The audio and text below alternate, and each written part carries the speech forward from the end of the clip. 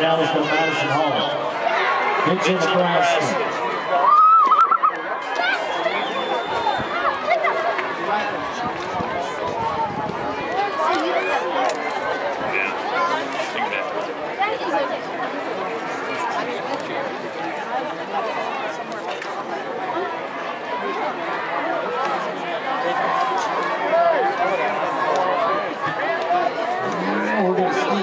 We're